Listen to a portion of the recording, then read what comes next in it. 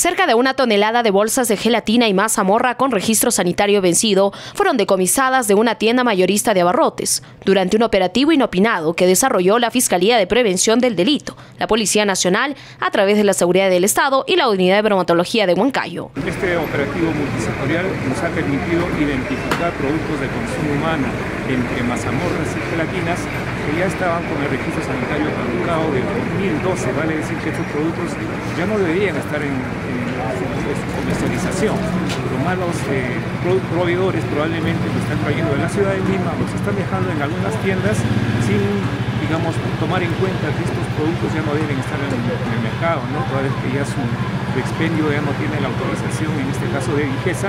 En la intervención del comercio ubicado en la prolongación Cajamarca número 240, se decomisaron 74 bolsas de 5 kilos de gelatina con el registro sanitario vencido, al igual que bolsas de masa amor. Asimismo, en dos zonas del almacén de arroz, aceite, azúcar, se detectaron excretas de roedores y gusanos. La municipalidad dispuso la sanción de 4.200 soles y la clausura temporal. La Municipalidad Provincial de Huancayo, a través de la ordenanza 548, establece como sanción el 100% de la UIT y la, sanción complementaria es la clausura temporal del establecimiento que se debería ejecutar en los siguientes días a través del Ejecutivo Municipalidad.